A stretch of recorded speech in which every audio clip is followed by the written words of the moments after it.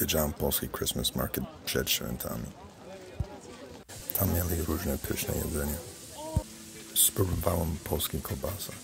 Dobre było, to zrobiłem w tirem na grill. Takie zimne noce w ciężarówce. Dobrze, że kupiłem grzaniec.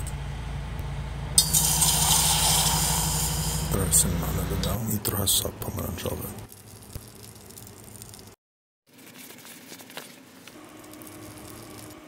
Grzaniec już ma smak goździków, to nie dodałem.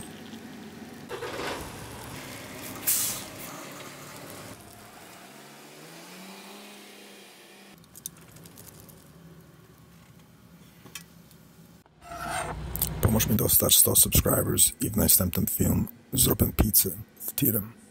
Do widzenia.